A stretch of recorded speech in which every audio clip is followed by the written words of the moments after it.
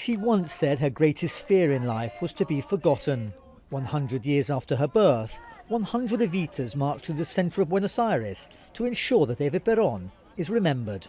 Her whole life as a young, beautiful woman, an actress, she was an example of what a woman can be.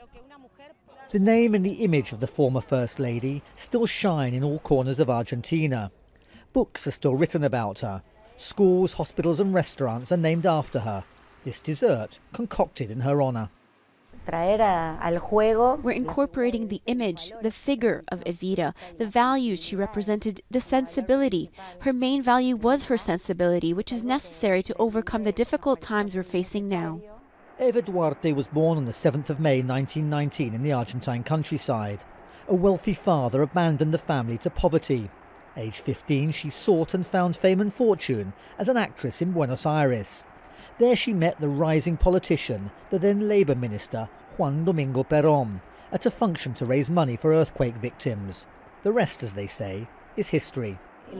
Being a woman fighting for social justice, for equality, she was taken into the hearts of the Argentine people and is part of the universal story, and today everyone here in Argentina remembers her.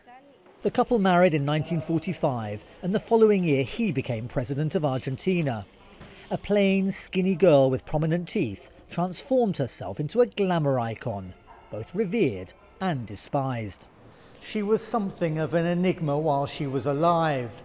A champion of the poor wearing furs, a fighter for women's rights in a man's world, a showbiz superstar ahead of her time. 67 years after her death, that attraction, that influence remains just as strong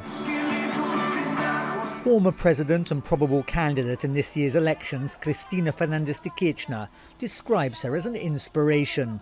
In a way, I think that Evita inspires the new struggles, and today you can see that many of those movements, many of the demonstrations in the street, you have young people with uh, a t-shirt with Evita, uh, a sign with Evita, and still think about Evita.